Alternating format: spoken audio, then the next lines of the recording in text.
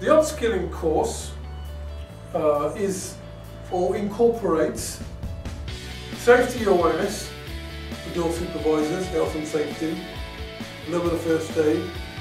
counter-terrorism, safeguarding, and it also contains safe movements that you need to learn with regard to physical intervention,